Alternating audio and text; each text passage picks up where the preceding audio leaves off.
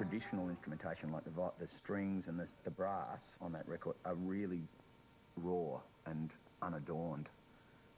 You know, they're very, very close sounding. They're right there. You know, and that, I think those sounds have really helped define that album. It's, it's, it's painful almost, you know. And the string, that particularly on Stuck on You, there's something very, very intimate about that, that song. Whether it's right or whether it's true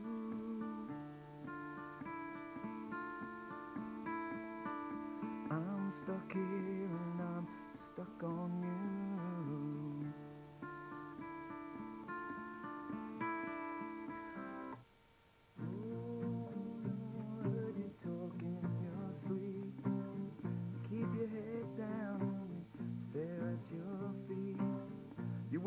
look up, but you won't look away. Give the same answer, no matter what I say.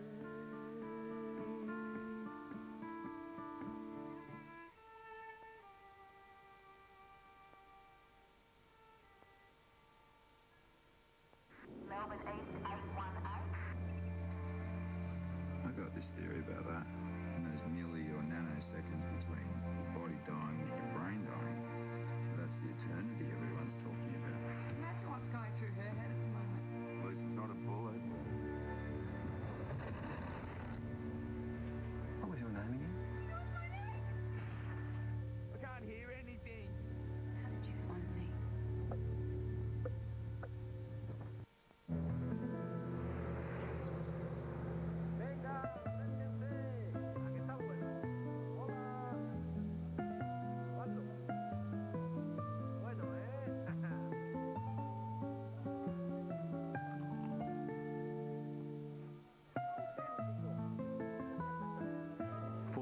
authentic taste of olive oil, there's nothing like new Red Rock Deli chips cooked in 100% olive oil. It's springtime, and a man's thoughts turn to hardware. Makita 14.4 volt drill with a bonus torch, $189. Talon 25cc line trimmer, 99 bucks. Mighty helpful, Mitre 10. Metallica.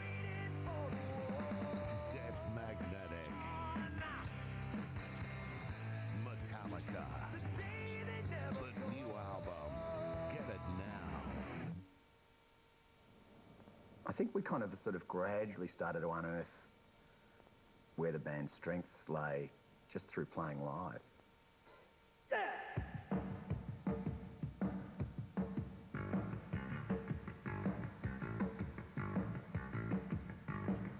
Big picture, hardest working band in show business, or one of.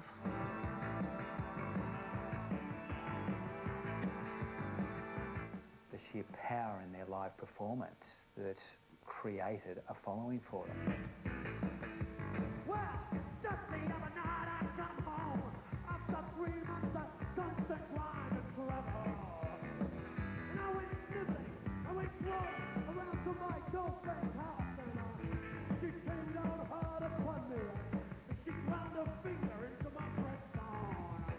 great, um, great live act, and, and people like to drink and sing along, and they're eminently hummable tunes, and, uh, and they had choruses, and, and Mark was such an energetic um, me feel like I'm a woman anymore. First time I heard Mark saying, um, "You don't make me feel like a woman anymore," it just went, "Wow, what's this?" Did he say that? I was at my manager's office and I overheard a conversation between these two people through a wall.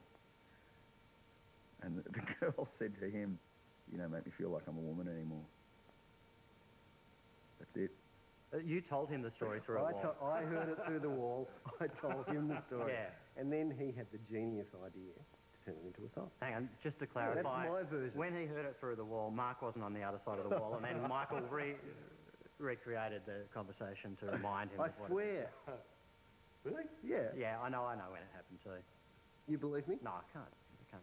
Oh, yeah, but we're not saying.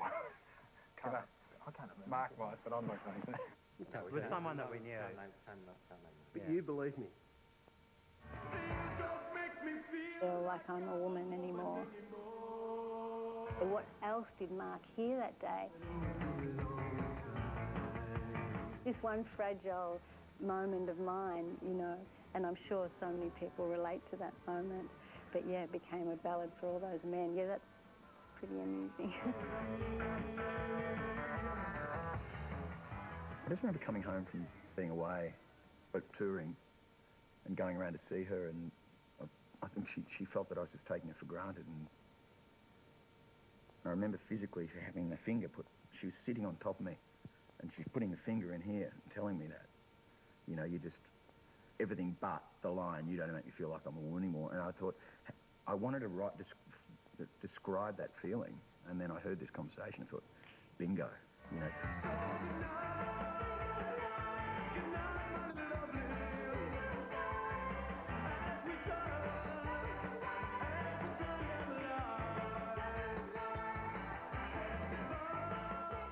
They were the days that you could you could go out four or five nights a week and there'd be bands in every pub. And sort of suddenly you're in this thousand people fire trap, um, wooden floors, smoke, beer, half naked people everywhere. Um, it, it was a really, it, you know, an exhilarating kind of adrenaline charged thing, you know. I remember thinking uh, everything was out of context for hunters and collectors. I mean, we we made these records that were, I think, you know, we got up in pubs in front of really suburban audiences that we were really trying to reach, and singing these songs about being vulnerable and emotional and fragile, and you know, we're playing stridently and powerfully, and it was a very masculine band, but but the songs were about this other stuff. Yeah, I'm, I'm sure there would have been a point at which they started to think we want to kind of distance ourselves from this kind of lowest common denominator, you know, let's let's shotgun another can kind of thing because yeah, the music did really suit that. It was kind of guys with shirts off in the front row bouncing around, getting really sweaty and then going to the bar and drinking another beer. But it also, I think, yeah, I think lyrically it, it operated on a, on a more subtle level than that.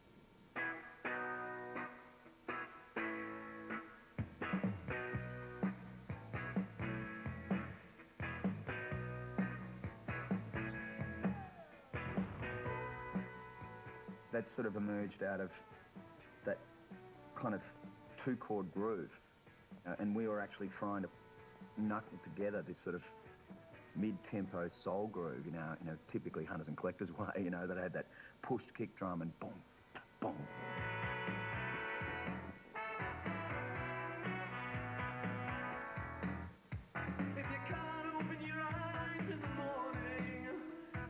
Well, you know, it's it's a guy who's completely enthralled of this beautiful woman, and he's she's got control of him. You know, I mean, she had control of me. It sort of reminds me of Otis Redding in a funny way as well. Um, you know, that sort of confessional spirit, you know, where the guy's just sort of, she's, you know, just, you know, just trying to let all this stuff out. I mean, it's it's allegorical, of course, but in the video we actually um, we gave the Metropolitan Fire Brigade a slab of beer to set fire to a building for us, and they did, and uh, we cut it together to look like uh, that was Mark's work, and uh, it got banned. And if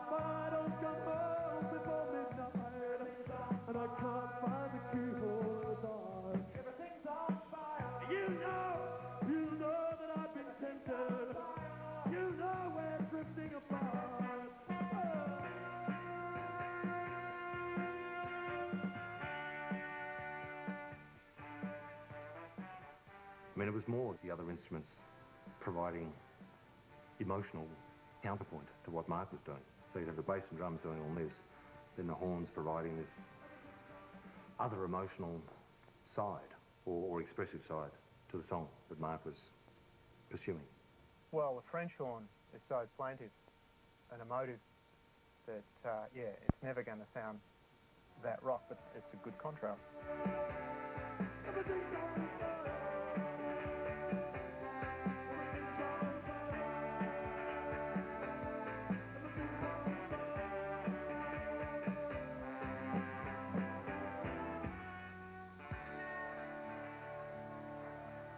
Well, because we played in orchestras, we never went near saxophones. Um, and I guess, I mean, I grew up not listening to soul kind of horn sections, with a lot of, which a lot of horn players do. You know, they're, they're kind of steeped in, you know, Motown and Stax and just, and jazz, I suppose, more as well. Whereas because we were steeped more in Mahler and Shostakovich, you know, at the time, which had lots of French horns and lots of trombones and lots of big brass and strings, of course, which feature on Human Frailty. Um, that was more the angle we were coming from.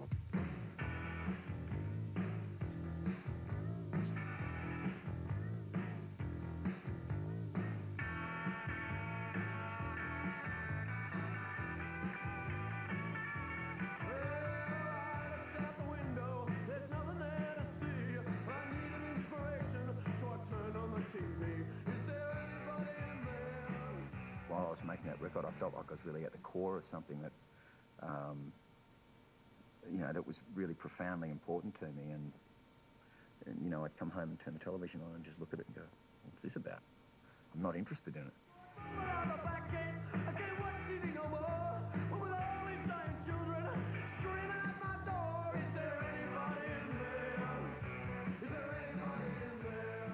in a way, I was sort of saying, well, stuff that's coming to me from the outside world while I was immersed in this relationship was, was, was kind of just bewildering and untruthful.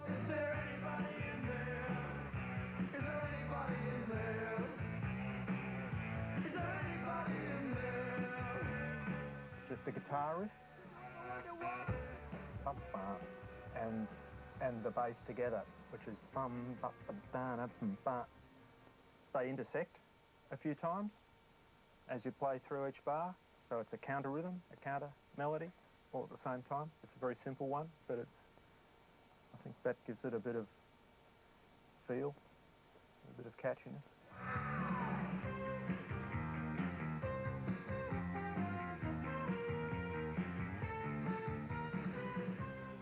Is there anybody in there the, the way the horns come in almost in, in lieu of a chorus? The song just completely changes gear and goes in this whole other direction that's really driving. It's a great driving song. Don't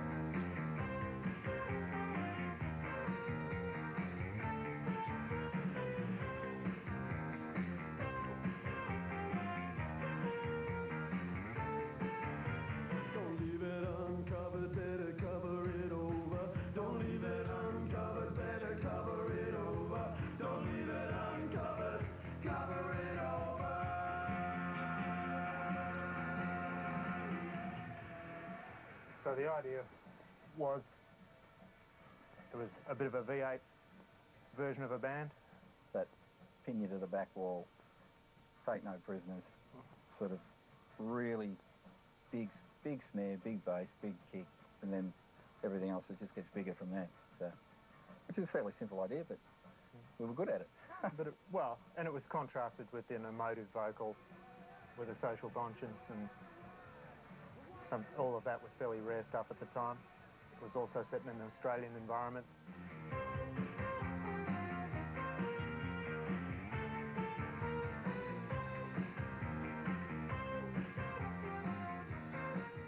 Human Frailty was made on a shoestring um, to the point where we couldn't afford a decent studio.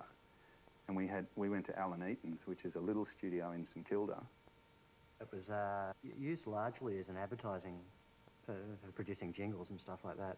We used to have to strike the gear on the weekends so that young talent type could come in because all of, they were all kids at school and they'd come in and record all their cover versions on the weekends and then we put all our gear back afterwards.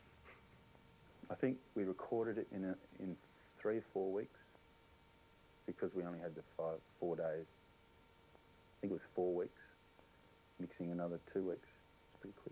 There was a real sense of like we were just alone out in the uh, out on the spiral arm. This little group of blokes who were kind of doing this stuff, and we didn't really feel connected with the broader industry. And you know what we were trying to achieve wasn't necessarily what we got. And um,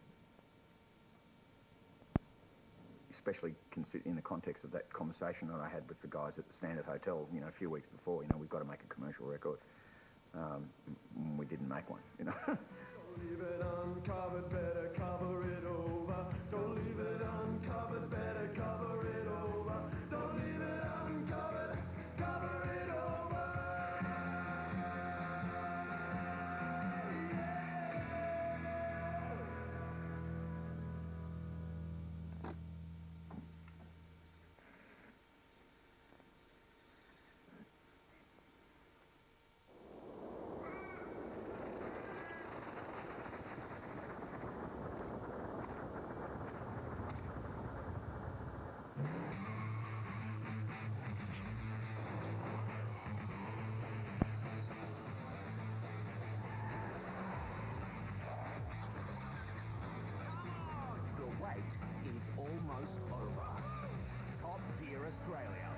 launches Monday, September 29 on SBS.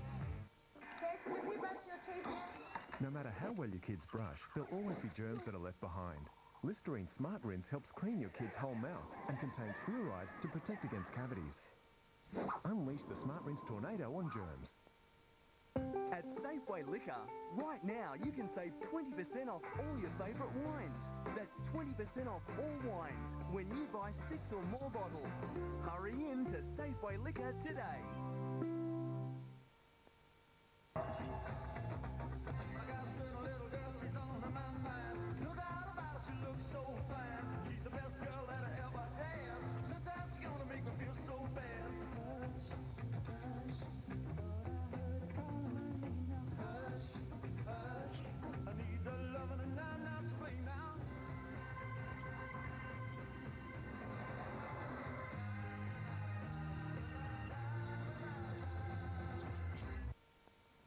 Think the thing that I learned in that record is that I realised, well, everything that's happening to me, anything that's affecting the way I feel, is what I have, what I write about. From that album on, pretty much. Whereas prior to it, I was, you know, I was sort of in denial in a way. I thought you had to kind of separate the, the, the, the artistic process had to be kind of something that was removed and located outside yourself.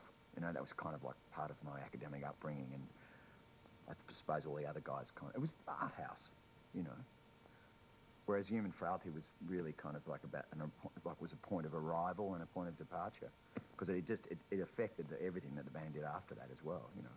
I, I listened to Human Frailty and then I, then I, I don't know, listened to the Arcade Fire or something, and I can hear similarities in the sort of that almost yelpy, desperate voice of you know a guy singing about his sort of you know disaffection and, and confusion. The album itself had got incredible reviews and it really took them back to where they were at the start and the band were just unstoppable live. Um, they, they just grew and grew. Uh, the quieter bits of this morning are definitely the band trying to play to the vocalist and just fit in around what he's doing. And what he was doing might have been going, moving around quite a bit. He's gonna go this morning. No sun will shine today. Jack did the most amazing string arrangements on Human Frailty. If you listen to this morning, I mean, it's bloody George Martin, Eat Your Heart Out. Um, and he did that all off his own bat, brought in the dots, organised the, the um, quartet, conducted them. The blind fate's trying to tell me it isn't over. Tell me it do not have to be. And storm waters weeping on my It kind of worked out very nicely, and there was a lot of space in that song, so there was a lot of room to actually fit the strings in, you know, between Mark's vocals. It's quite, you know, like four bars between vocals. So there was lots of room to actually arrange things, not a lot happening on the bass, so there, there, were, there was room to, to paint.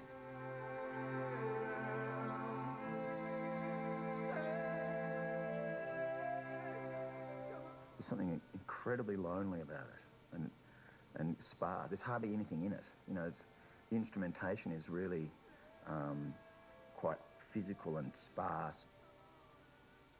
Yeah, there was a lot of arrangement by turning things off. Yeah, yeah. This is a great song. It's a big song live as well.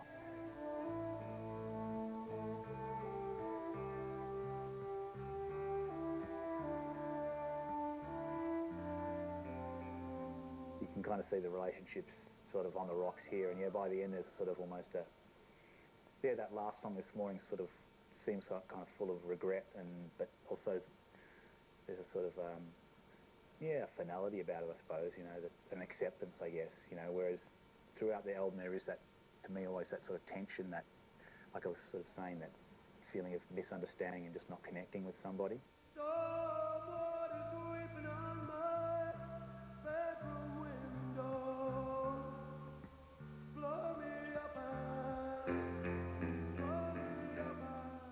Season was turning and it, we were heading into winter and um, I was, you know, the relationship was was rocky and, you know, we, we, just, neither of us felt secure and, you know, there was just stuff coming up between us and I just remember that, you know, that, that the, the wind and the rain on that glass, the rattling of the window in that room just, just had all this foreboding to it, you know. I just kind of saw that as being an, a foreboding sound, you know.